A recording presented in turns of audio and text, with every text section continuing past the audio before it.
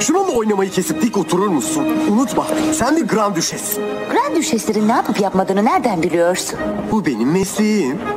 Ya Bak Anya sana yardım etmeye çalışıyorum tamam mı? Dimitri, asil kan taşıdığıma inanıyor musun? İnandığımı biliyorsun. Öyleyse bana emir verip durma. Bağımsız ve kararlı olduğu kesin. Evet evet nefret ettiğim huylar. Анастасий Отцов Дмитриевич.